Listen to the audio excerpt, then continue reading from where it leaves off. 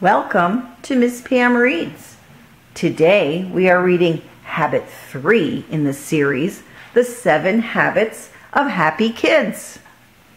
A Place for Everything by Sean Covey, illustrated by Stacy Curtis. Ooh, this feels like a brand new book. Whew.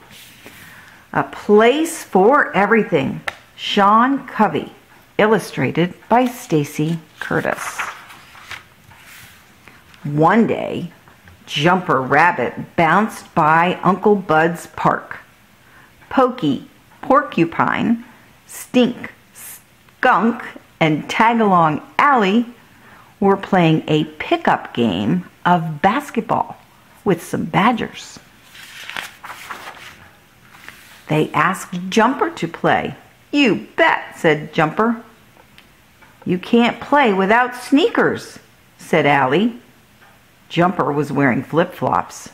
I'll race home and get my favorite basketball sneakers right now, said Jumper. But Jumper's rabbit hole was a mess. He couldn't find his sneakers anywhere. He looked in his closet. He looked under his bed. He looked in all his sports gear. Jumper started tossing things out of his rabbit hole. He tossed out balls, toys, gloves, and more. Just then, Goob Bear walked by and Jumper's soccer ball hit him. Goob yelled, Ouch! What are you doing, Jumper? Jumper said, I can't find my favorite basketball sneakers, and I need them right now.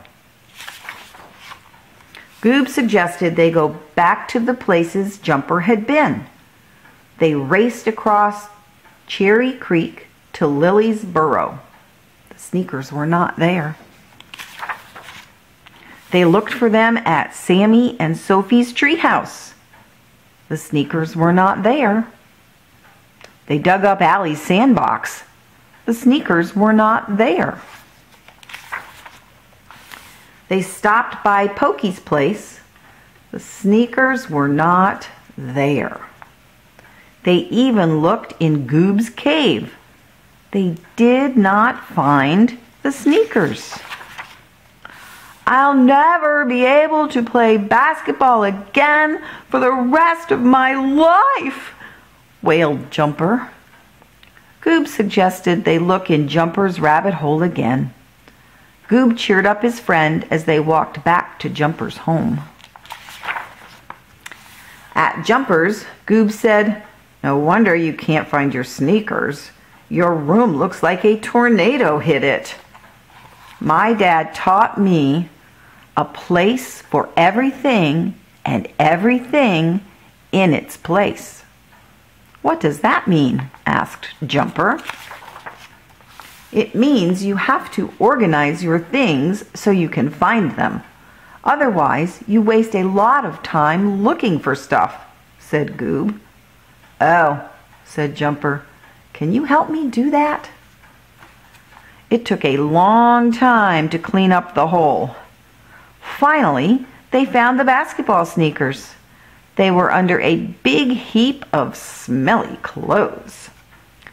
Jumper and Goob also found other missing things, like the silver dollar that Jumper's grandpa gave him.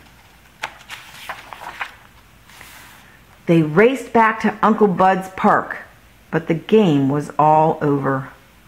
Bummer, said Jumper. Don't worry, Jumper. You'll be ready next time, said Goob. Goob invited Jumper to look for ladybugs. He just needed to find his magnifying glass. Luckily, Jumper knew where it was.